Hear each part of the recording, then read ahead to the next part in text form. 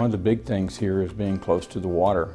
And a lot of people, I think this is one of the largest areas for sailboating in the country. And so there's a lot of marinas here. You have, uh, of course, Kemah. Kemah is always a big draw. And uh, Galveston. A lot of people like to go to, to Galveston, to the beach, and to the Strand. They have a lot of nice restaurants in Galveston.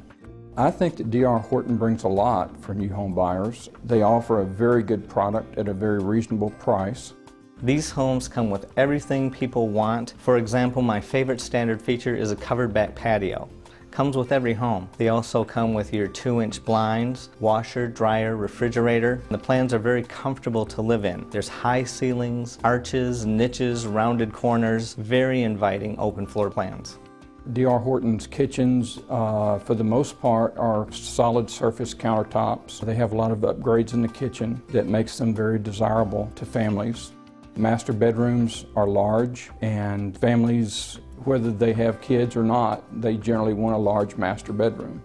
I bring buyers to D.R. Horton because I feel that they offer a lot of value for the money. Their customer service is fantastic. So I feel good as a realtor in bringing customers to D.R. Horton.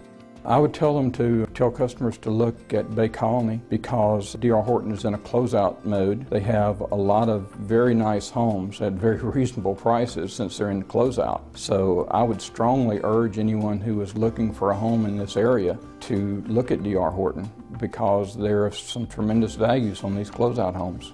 Please come down and visit us at Bay Colony. It is an unbeatable location, beautiful master plan community. The only bad part about Bay Colony is there's not many left, so please hurry and take advantage of this great opportunity.